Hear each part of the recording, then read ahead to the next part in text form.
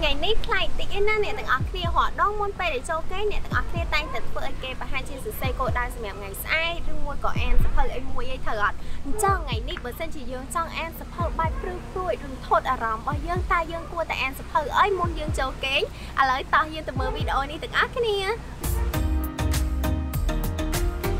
សម្រាប់គ្នាយើងដែលចូលចិត្តរឿងរ៉ាវព្រឺព្រួយរន្ធត់អីហ្នឹងគឺថាល្អខ្លាំងមែនតើអ្នកទាំងអស់គ្នាដោយសារតែសភៅហ្នឹងមិនត្រឹមតែបានអានទេណាប៉ុន្តែកាន់តែពិសេសនោះគឺនៅក្រោយសភៅហ្នឹងមាន QR code សម្រាប់ scan ឲ្យអ្នកទាំងអស់គ្នាទៅស្ដាប់ទៀតរបៀបថាយើងស្ដាប់មុនចូលគេដើម្បីបន្ធូរអារម្មណ៍អញ្ចឹងណាឥឡូវកុំឲ្យខាត់ពេលយូរយើងទៅមើលទាំងអស់គ្នាថារឿងទាំង4នៅក្នុងសភៅហ្នឹងមានរឿងអីគេខ្លះរឿងទី1នៅក្នុងសភៅនេះគឺរឿងឡានពេទ្យដាច់ស្រយាលរឿងហ្នឹងគឺថាអញ្ចឹងអ្នកទាំងអស់គ្នាមានបរិប2នាក់ហ្នឹងគាត់គឺជាអ្នកបើកឡានពេទ្យហើយបន្ទាប់មកគឺគាត់តែងតែបើកឡានពេទ្យទៅមន្ទីរពេទ្យដាច់ស្រយាលមួយក៏ប៉ុន្តែស្រាប់តែមានថ្ងៃមួយហ្នឹងគឺនៅសុកសុកតាមផ្លូវហ្នឹងអ្នកជំងឺក៏ស្លាប់ហើយតាំងពីពេលដែលមានអ្នកជំងឺស្លាប់ម្នាក់ហ្នឹងមកបរិប2នាក់ហ្នឹងគាត់ចេះតែមានអារម្មណ៍ថាដូចជាមានអ្នកតាមគាត់រាល់ពេលដែលគាត់ទៅមន្ទីរពេទ្យហ្នឹងអញ្ចឹងអ្នកទាំងអស់គ្នាទាយមើលថាមានរឿងអីខ្លះកើតឡើងចំពោះគាត់រឿងទី2នោះគឺរឿងបោះជំរំនិយាយទៅរឿងនេះគឺថាស័ក្តិសមមែនតើសម្រាប់គ្នាយើងដែលចូលចិត្តទៅបោះជំរំ camping អីអញ្ចឹងដើម្បីអានឬក៏ស្ដាប់ រឿងហ្នឹងគឺចាប់ផ្ដើមដោយមានបរិប2នាក់គាត់ចូលចិត្តទៅបោះជំរំហ្នឹងទៅគាត់ក៏ទៅបោះជំរំមួយគ្នាហើយដល់ពេលហើយនៅតាមផ្លូវហ្នឹងស្រាប់តែមានបរិសម្នាក់គាត់បានជន់ទៅលើសំណាញ់ហើយចាប់តាំងពីពេលហ្នឹងមកគឺគាត់មានអារម្មណ៍ថាគាត់មិនមែនទៅបោះជំរំតែ2នាក់នៅក្នុងព្រៃហ្នឹងទៀតទេ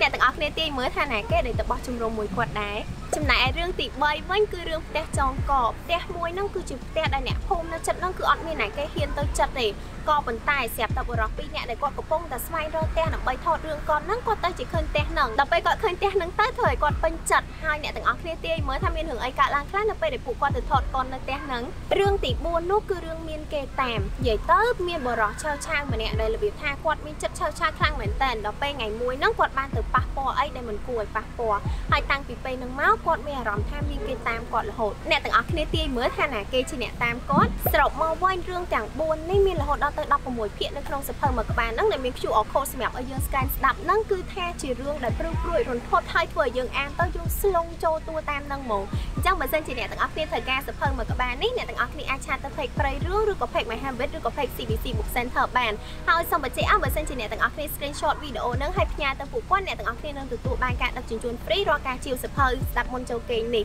អញ្ចឹងអរគុណច្រើនដែលបានមើលវីដេអូនេះពីដើមដល់ចប់បើសិនជាអ្នកទាំងអស់គ្នាមានសំណួរអីអាច comment នៅខាងក្រោមបានហើយសូមអរគុណមួយសារទៀតសង្ឃឹមថាអ្នកទាំងអស់គ្នាអាចជួយ subscribe YouTube មនីមនីសេរីរស់សថាមនីនិង Facebook Page សេរីរស់សថាមនីបានអរគុណយើងចាប់ជួបគ្នានៅវីដេអូក្រោយទៀតពីខ្ញុំមនី